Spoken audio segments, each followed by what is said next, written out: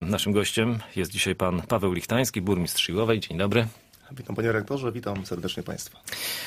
Panie burmistrzu, dokonał pan swoistego wyłomu. Mo- Może samorząd e, Iłowy, Iłowej dokonał swoistego wyłomu. No tu jest tak jakoś e, w tym województwie, może i dobrze, a może i nie, że samorządy, które mają tereny mm, inwestycyjne i chcą je promować, to e, proszą o pomoc Kostrzyńsko-Słubicką specjalną strefę ekonomiczną.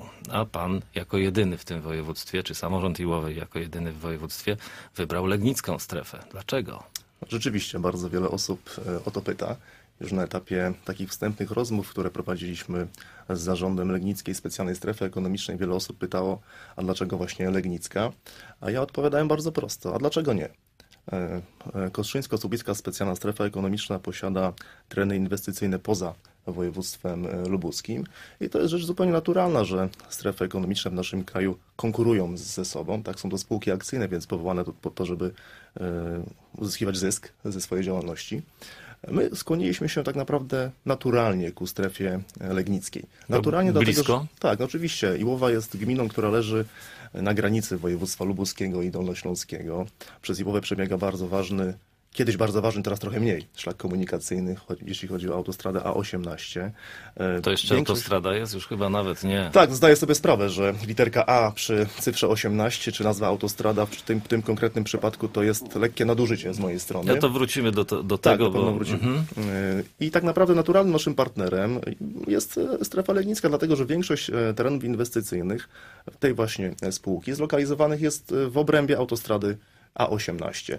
Więc tak naprawdę uważam, że e, to nie jest żaden wyłom, jak pan to e, raczył nazwać, a wręcz naturalny proces w rozwoju gospodarczym A naszej ja pana tak tylko zaczepiłem, bo wyłomu to dokonali wcześniej chociażby w Szprotawie, którzy, gdzie sięgnęli po Wałbrzyską specjalną strefę ekonomiczną. No to zapytam, dlaczego nie Wałbrzych? Tam podobno, tam podobno e, większa ta strefa jest e, niż, niż Legnicka, jeśli dobrze jestem zorientowany.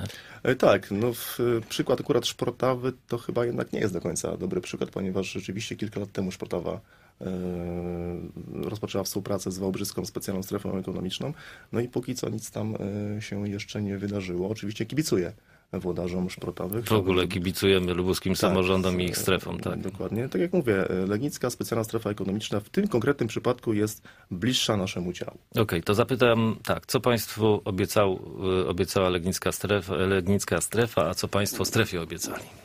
Znaczy, naszą, Poza, naszą przepraszam, rozliczeniami finansowymi. Nie, nie Tak, to oczywiście naszą współpracę reguluje e, specjalne porozumienie, które podpisaliśmy jeszcze przed uchwałą Rady Miejskiej o włączeniu naszych, naszych 52 hektarów zlokalizowanych właśnie przy autostradzie A18 w obręb e, działania Legnickiej Specjalnej Strefy Ekonomicznej.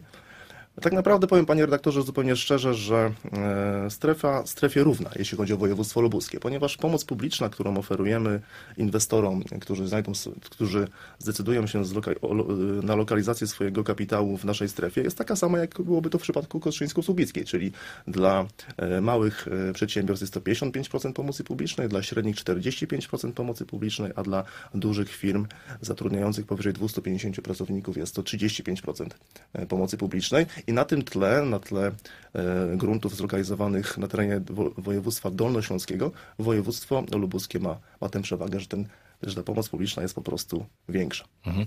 Mówi pan strefa strefie równa, no to y, czym y, Iłowa będzie y, lepsza w ofercie dla przedsiębiorców, y, mając swoje tereny w legnickiej strefie niż, y, no nie wiem, akurat mówi się o Sulechowie, który jest w stref, strefie kostrzyńsko-słubickiej. Tak, przywołałem Sulechów tylko dla przykładu, a nie żeby tutaj konkurować. wątpienia naszym wielkim atutem, e, mam nadzieję, że z roku na rok coraz większym po remoncie południowej nitki autostrady jest lokalizacja i połączenia drogowe i kolejowe, bo akurat Iłowa takie posiada. Położenie na granicy województwa dolnośląskiego powoduje to, że możemy również liczyć na pracowników, mieszkańców województwa dolnośląskiego. E, Jadąc tutaj do studia, słyszałem e, materiał, słuchałem materiału dotyczącego problemów z pracownikami w powiecie e, nowosolskim.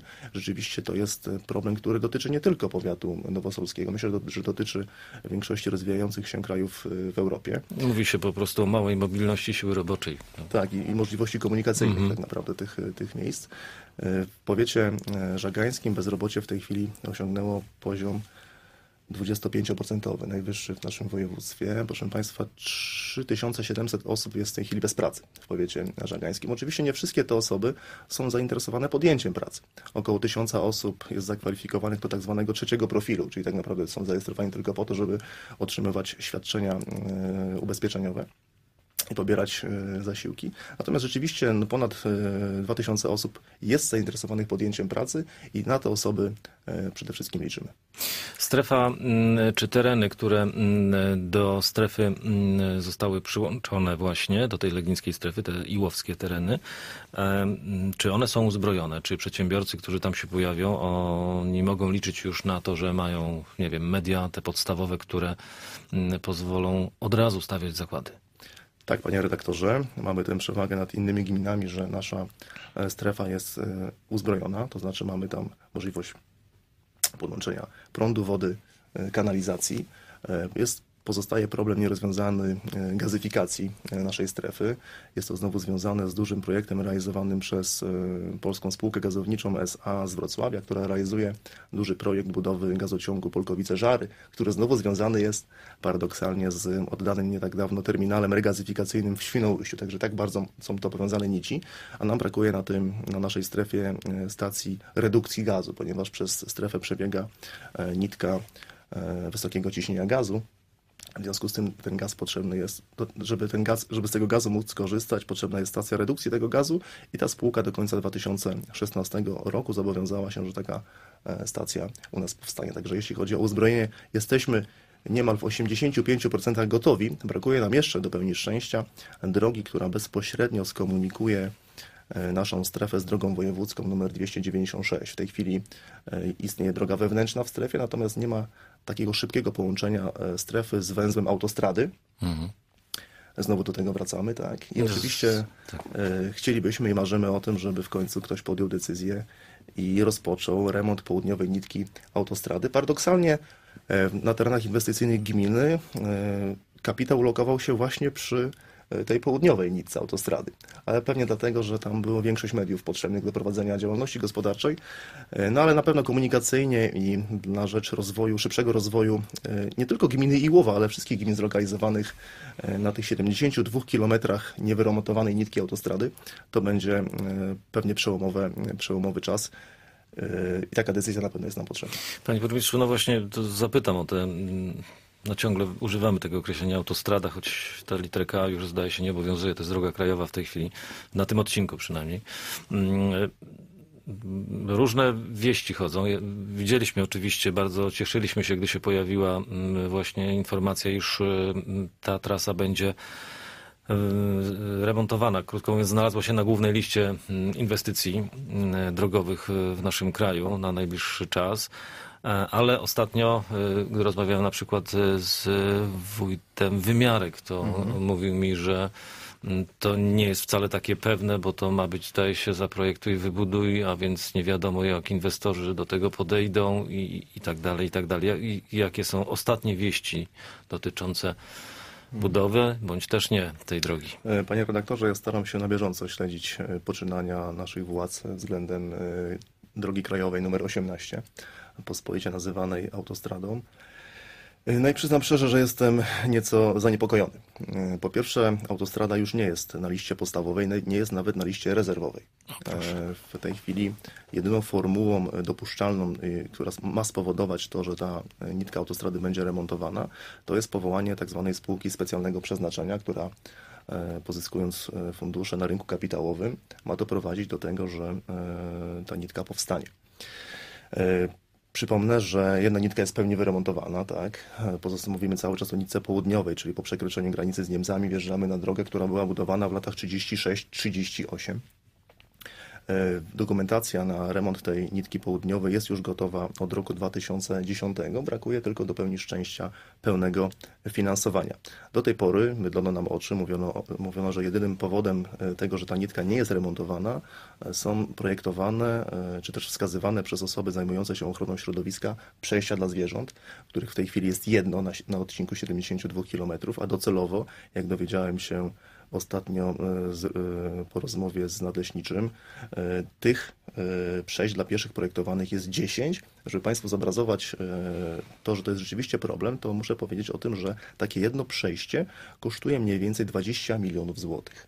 Czyli robi nam się okrągła suma 200 milionów złotych. Ja nie wiem, czy dla budżetu państwa polskiego 200 milionów złotych to jest tak duża kwota, żeby w końcu do tej, do tej inwestycji nie doprowadzić.